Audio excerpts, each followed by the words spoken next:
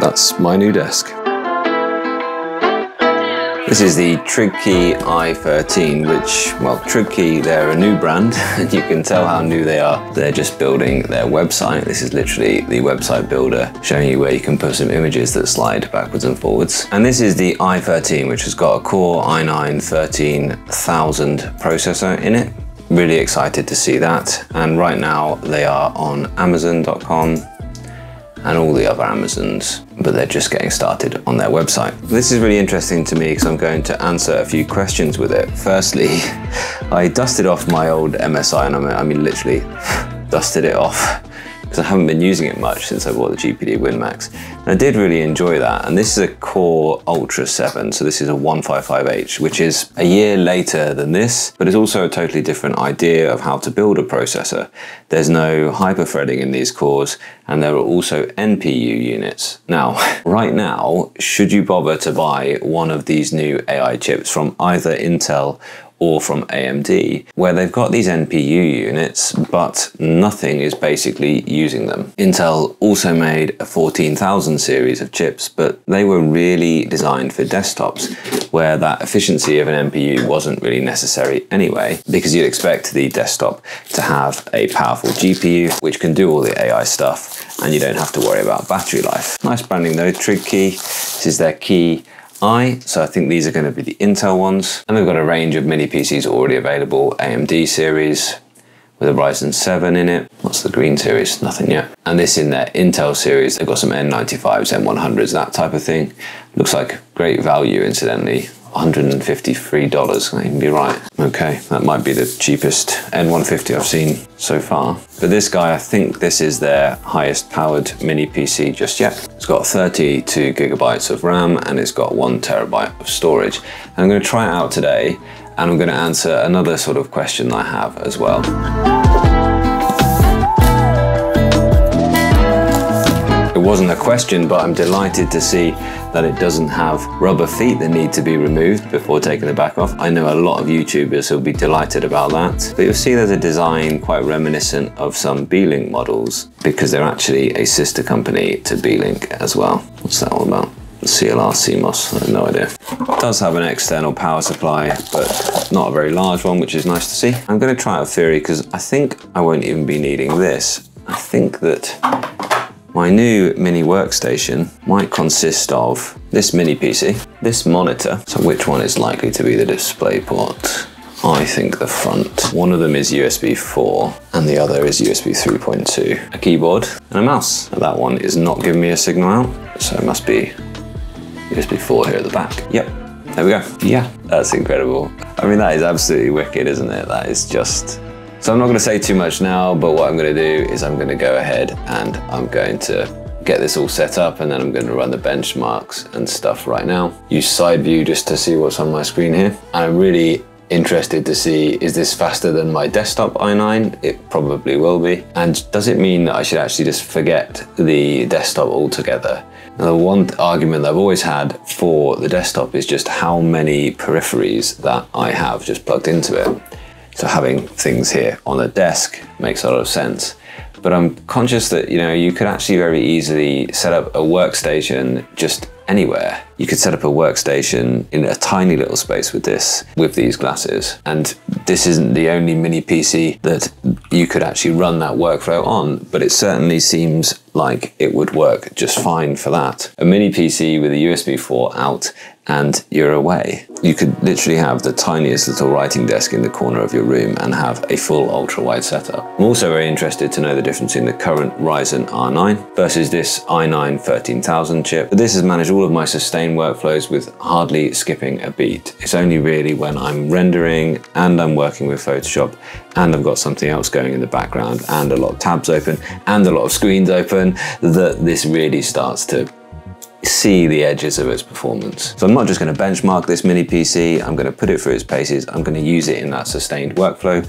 I probably will open it up because there is space for another SSD within that there. And I think it'll be a really good time with a Cherry mouse, The new HE keys from Keychron, Xreal 1 Pros with the spatial screen there, so six degrees of freedom on that device. You can keep your Mac Minis, although of course you could do this setup with your Mac Mini as well. The one thing I'm wondering is should I put my money where my mouth is and actually ditch this whole big computer setup and just go full on mini PC, or even just rely on these as my main screen? I could certainly buy back a lot of space in this office if I didn't have to have these large monitors on my desktop. Or actually, is it just that I'm enjoying the ultra wide and what I really need here is a proper ultra wide monitor? So I don't know, I'm going to try out these options in the next few weeks and months. I'm going to discuss that idea of what an ideal home setup will be, whether these actually do work at home or whether they're, as I originally thought, better just as an external desktop for travel. But I have really been enjoying these display glasses in fact, and when they eventually come out with QHD or 4K screens in them, I will certainly be jumping straight on those. And this idea brings a lot to the table. I could certainly imagine a future where I didn't have to have these massive monitors on my desk. Let me know what you think. So this is what I mean really, it frees you up to set up workspaces in places where you wouldn't normally sit and work. Don't need these because I'm wearing my contact lenses. So now there's an ultra wide screen there. Oh yeah, it's, it's epic. And sure, you could work with a laptop here, but having that ultra wide setup. So I just got my first thoughts and my sort of testing results here, and they're really positive. The i9 13900HK was their top mobile die CPU. So the HX series would beat it, but that's really a desktop CPU in a laptop chassis. So, you know, those beasts of gaming rigs, those mobile workstations in suitcases, that type of thing, that was the HX series. But the HK that's in here was a really top draw processor. And it's really good, as you'll see. It's got 14 cores and 20 threads, which is pretty darn good. The RAM speed is as good as you really get on replaceable RAM. So if it's not soldered, you're going to get this 5,200 mega transfers per second. You maybe get a little bit higher than that, but not much. And it's got a one terabyte SSD in it, which is really good. So it's really good how much computer you can get at this price. Fast RAM, fast SSD, fast processor. You've got a good time computing. Okay, so now I'm recording the whole widescreen and all the pixels there as well. So you can see here in the middle, I've got the Geekbench scores. That's a pretty good single core score. Multi-core, not quite as good as some of the more up-to-date processors, but still really great processor score.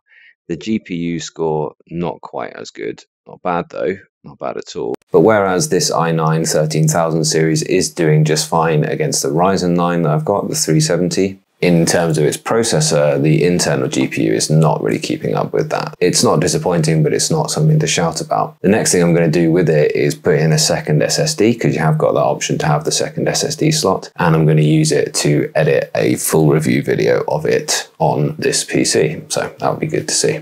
The disk speed is as expected, really quite good, read and write around the 500 megabytes per second, so top draw. And here you can see the comparisons. Single core, almost up with the Dell Latitude, which has got the top draw Snapdragon X Elite. The multi-core is actually in line with the Ryzen 9 HX370, but the GPU score is way below all of those and not even as good as the Snapdragon X Elite, which the GPU is what lets that down. It's got about half the rating of my desktop, which is a 1060 Ti, so not a great GPU by modern standards. So as you can see, the TrigKey i13 is going to be a great little productivity PC but you might expect it to lag a little bit behind in terms of gaming and graphics performance.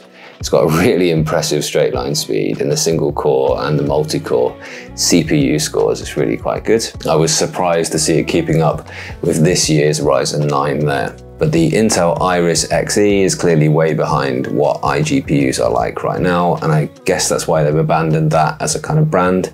And now the newer CPUs have Intel Arc iGPUs, which are actually quite good. And for me, at the minute, for GPU score, it's still my laptop 4070, which is blowing everything else away there. And what's nice to see about that laptop is it's actually using the Intel Arc and the 4070 simultaneously, so it does manage GPU intensive processes really well. But the uh, actual single core and the multi-core on that Core Ultra 7 just are way behind. But like all Intel CPUs at the minute, it does run quite hot. There's a lot of fan noise all of the time, even when it's idling. I also think it being in a plastic body doesn't help that at all. Fan noise. Can hear right now it's running, yeah, okay, screen recording in OBS, fair enough. It's running a widescreen. It's not doing much though. It's not doing much by modern computing standards. So if you don't mind fan noise, you won't have any issues there. But I guess just plenty of warm air inside there is just constantly having to move that around. I really did enjoy using the mini PC like this with its very small footprint and this giant screen here. I would say that perhaps it makes sense to at least have just a small screen, just a 1080p small screen next to it, because I kept looking across to like check the status of what it was doing and thinking, oh gosh, got to put the glasses on and off to check it. So yeah, so I don't think just display glasses are the way forward. And that's why I think the little handheld mini PCs, I know they're meant for gaming, but they're really compelling for just different use cases like this, because you do have that little small screen, you do have a permanent keyboard and mouse at least. Yeah, it's a like this situation where you can set it up in flexible spaces and have a giant workstation, but you have that input and output actually built onto the machine. So on the next video featuring this, I'm going to go ahead and run a fuller set of benchmarks. I'm going to add a little SSD and edit on that. And also, of course, I'll game a little bit and see what I can push it for that. And coming up, I've got an idea to make a more meaningful comparison and help you choose the best options for PCs in 2025 because we're kind of spoilt for choice right now, aren't we? And I want to distill it down to what matters for each different use case and hopefully my content in the near future will help you do that.